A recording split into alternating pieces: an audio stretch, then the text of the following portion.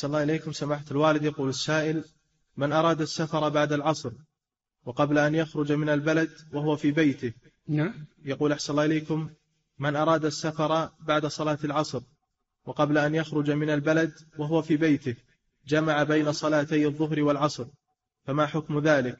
وهل من فعل ذلك يعيد الصلاتين؟ سمعتم هذا قلنا ماله يجمع ولا يقصر ولا يفطر في رمضان إلا إذا خرج من المباني. هذا الذي عليه جمهور أهل العلم. ولا يسمى الإنسان مسافرا إلا إذا خرج من البلد لأن السفر معناه السفور والخروج.